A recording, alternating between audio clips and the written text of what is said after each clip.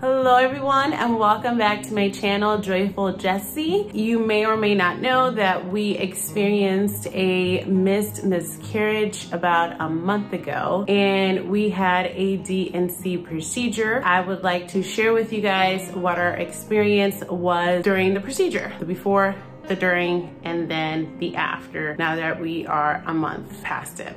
If you are watching this video because you have suffered a recent loss, I want to let you know that I am so sorry for your loss. It is very challenging and very difficult and I know your pain. So know that you have somebody here praying for you in this process. I hope that this video can kind of give you a little bit of an idea of the whole D&C procedure. This is not my first D&C. I had another D&C over this past summer that was not related at all to a pregnancy.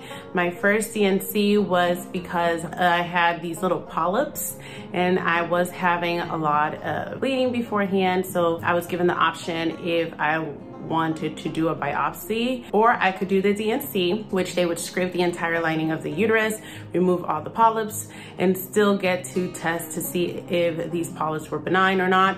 And it would fix the problem that I was having. The second D&C was because of our missed miscarriage. I'd have to say that both experiences were different from the preparation to where it took place to the recovery afterward it was different. Not just because of the emotional aspect of it, but also the physical aspect of it has been different.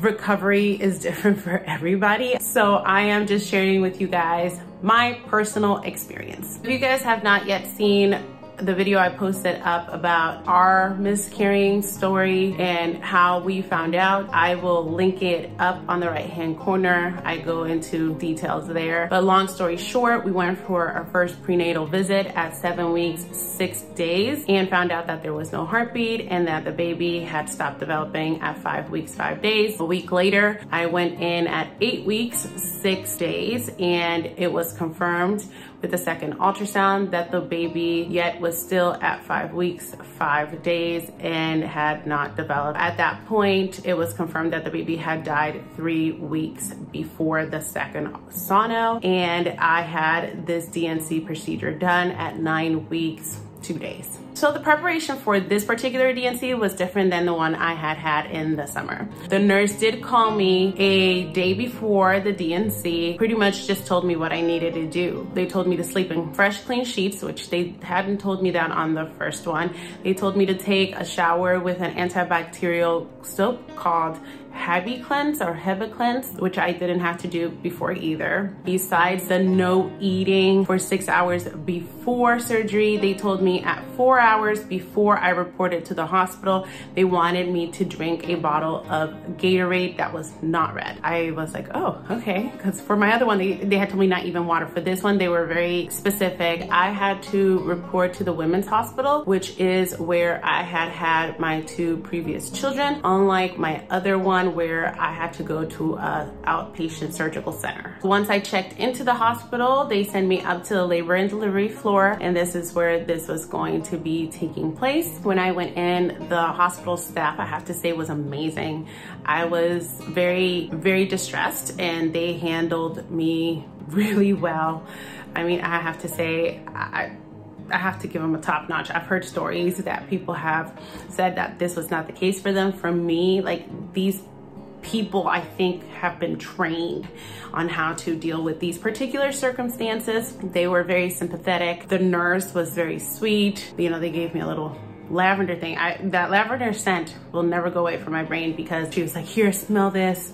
This will help you calm you down a little bit. So from the moment we arrived to the room where they're pretty much prepping you for the procedure and the procedure, we were there for approximately, I would say 45 minutes to an hour. And the nurse was continuously checking in on us. They were checking on vitals. They told us, do you guys have any questions? They put on my IV. The doctor then came in, checked in on us, asked us if we had any questions. The anesthesiologist came out there, explained everything that he was going to be doing and asked us if we had any questions. And the same people that were there were the care team that was also in the OR. So the anesthesiologist, the doctor, the nurse, and then and another nurse. They were they were the ones that were with me. They brought me in to the OR, and then they were br- they brought me out, and then that one nurse that was initially with me with the whole lavender. She was also with me till the very end. She was the one that wheeled me downstairs and made sure I got into my car okay.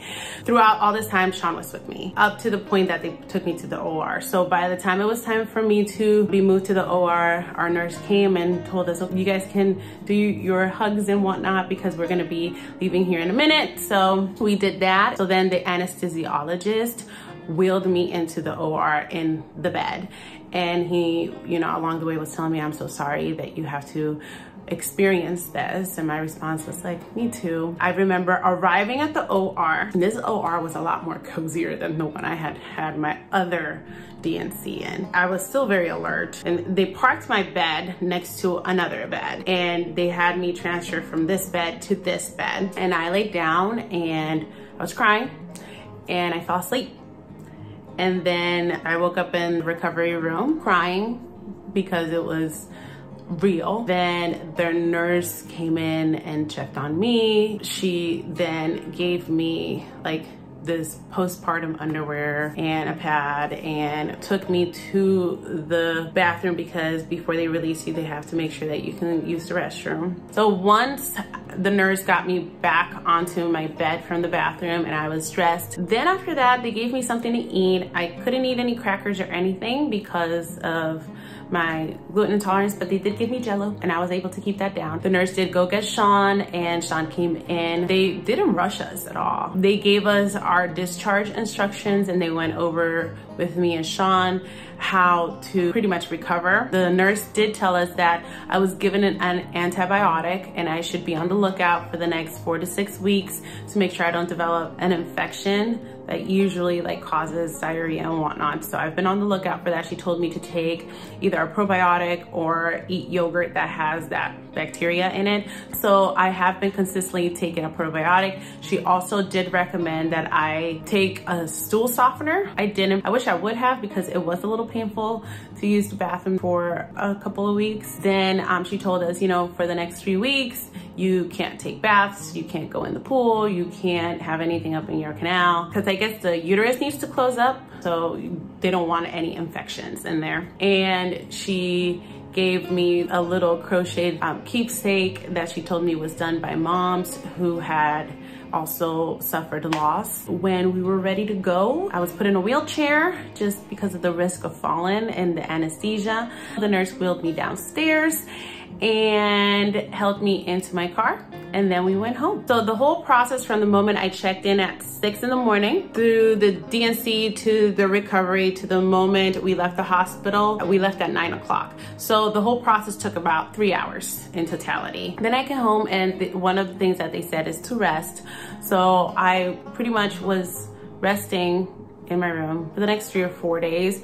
I didn't really have much bleeding. For my first D&C that I had had, I had a typical cycle bleeding. For this one, I barely had any bleeding up until the point I went back to work. When I went back to work and I was up on my feet a lot, then I did experience light bleeding, not bad. I I had spotting for like two and a half weeks. Now, something that was available for me, I don't know if this is something that's available for everybody, but for this particular procedure, everything that they did was put up in the patient portal. So unlike my other one. The other one, the only thing I got was test results that all the tissue they had removed from my uterus for the first one was benign. For this particular one, they actually had in detailed everything that was done from the moment they took me in to the times that, that they administered anesthesia to when they gave me the antibiotic to the size of instrument that they used to dilate my uterus to the technique they used to remove the, the tissue, everything to the moment that I was awoken, everything. I guess to me, reading it was helpful because it was almost like a third confirmation. I had my first one, my first sono, I had my second sono and the blood work also confirmed things. And then I had the D&C report to confirm that everything was pretty much what it was said. And so like the D&C, they confirmed that this was a missed miscarriage, that the size of my uterus being at an eight to nine week range and the size of the baby being at the five weeks, five days range. So all of that was confirmed in that report. So it was also sent out for um, testing. And I did receive the report. I don't understand what it says. So I need to ask my doctor, like, what does all that information mean? Because it's in medical language and I don't understand what it says. So I need to talk to him and ask him what exactly does that test result show? Does it show that, you know, there was something wrong with the baby? Does it show like what, what exactly were they testing for? So I need to double check in with him. So about a week after my D&C, I did receive a phone call from the doctor's office and it was a nurse checking in to see how I was doing. They asked me kind of like about my emotional status, how I was feeling, and they also asked me about my physical status. And they did explain to me that my HCG levels were high initially and that the doctor wants to continue monitoring my HCG levels until they go back down to the non-pregnancy status, which is a zero to five. So I have been going weekly to get blood work done at the doctor's office. They gave me two options. They told me I could either have it at an outside lab or I could have it done at the doctor's office.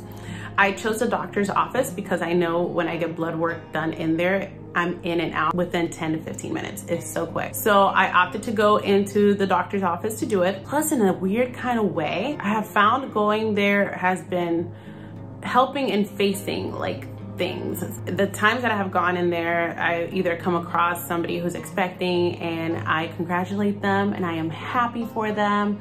Um, and another one, I found a friend that was there for another reason and I was able to share my story with her. So in a weird kind of way, I feel like it's been a good thing that I'm continuously choosing to go to the doctors. I have had blood work drawn, one, two, three, three, I'm, I'm on my third one, I think. The first one was before my D&C, and that one, my HCG levels were at 137,000. Later on, my hormones were down, I think, to 1,700. Then my hormones went down to 900 and something. So it seems like after my procedure, they've been going down by 50% every time. So yeah, this is my fourth time. So the way it works is I get my blood work done and several days later, a nurse calls me to let me know what the levels were and what the doctor wants me to do next. Initially, when the nurse first called me, she said, depending on where my levels are at, the doctor's either gonna want weekly or bi-weekly. And in my case, the doctor wanted them weekly. So I go every week.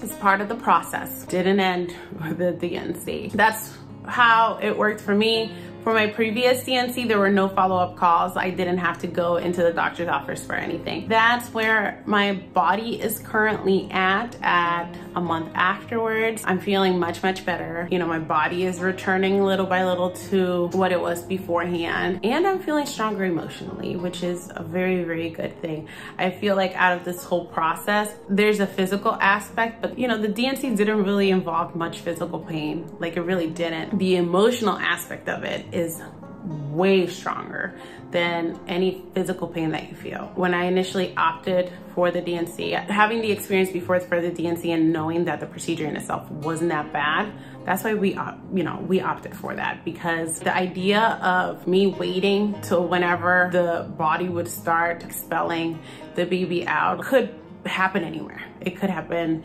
at school, it could happen at church, it could happen anywhere was just really dreadful for me. So anyways, that is it for this video. That's where we are at currently at four weeks after the procedure, a month after the procedure. Thank you so much for watching and I will see you next time. Bye.